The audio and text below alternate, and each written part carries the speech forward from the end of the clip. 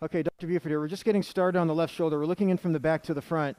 You didn't have a lot of uh, stiffness in the shoulder once you were under anesthesia, so we're just going to have a look here and see what we can find. As we look at the glenoid down below here, I don't see much in the way of loss of cartilage here. Here's the posterior capsule. This looks fine. The humeral head, you've got some arthritis. We can see that. And we can use our shaver to try and smooth out some of these areas, but this really isn't that bad.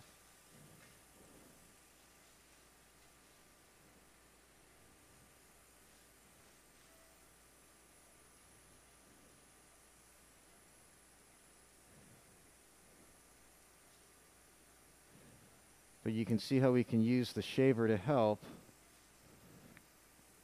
Now the biceps we've already tenodesed, and so now we're going to take a look up at the rotator cuff.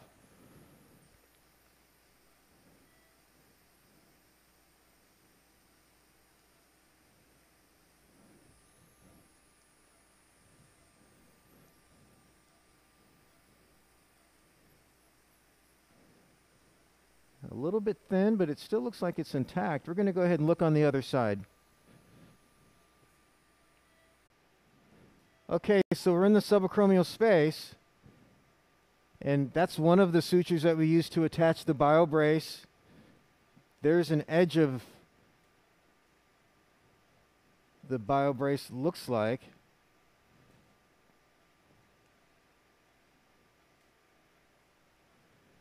It looks like it's still attached on the humeral side, but I'm not sure how solidly attached it is medially. So see, this is still a little loose. I'm going to shave this a little bit because it's already done its job, hopefully.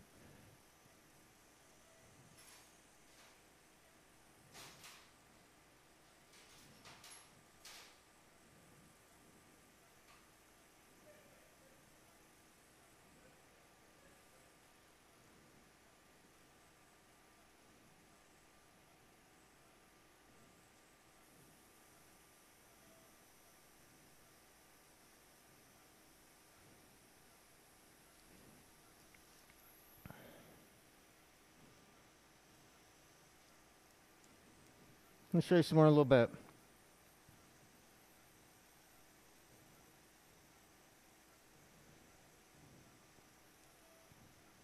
I'm just making sure we get all the way to the back here.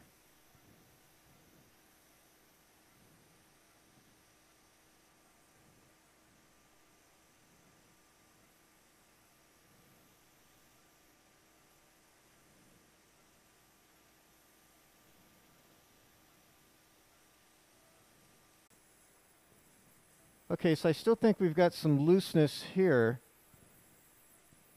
We're going to see if we can use this biter. We may not, it may be too strong to bite. It kind of is.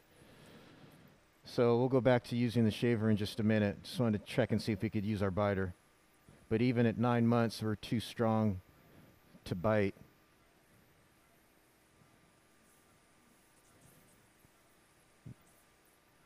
Let's try one more time here.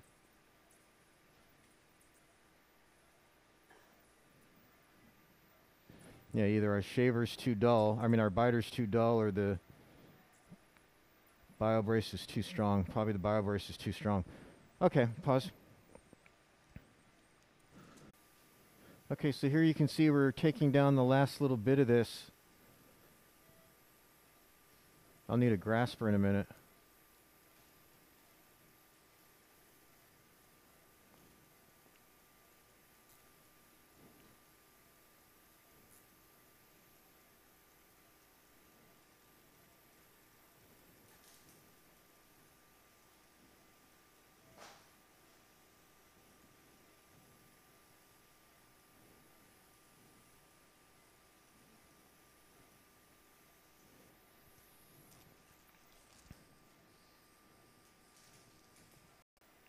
Okay, so we've taken out the medial part of the BioBrace that was loose. trying to decide if we have to do anything there. It's well incorporated laterally here, but there's still a little bit right here, isn't there? That might be a little bit loose, and that is a little concerning. Nothing back here. There's another suture from the cuff repair.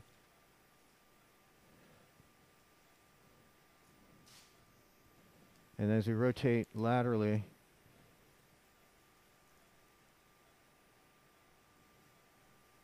okay, pause. Okay, I think we're done. I just don't want to take any more down. I don't want to create a new cuff tear. We're good here. So I'm going to go ahead and finish up here. We'll probably have to bring you back to the office and consider doing a series of like PRP injections to try and get this to really seal down and heal. But I think we're done with the um, with the debridement, and I'm glad we got that loose part of the graft out. Just making sure we can see everything here.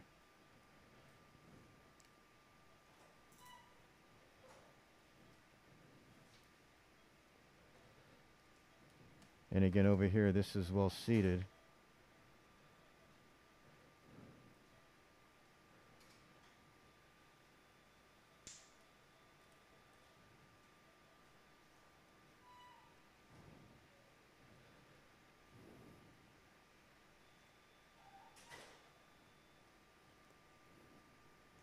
Just trying to see if there's any defects laterally here, and there really do, does not appear to be anything to worry about. So we're going to finish up here.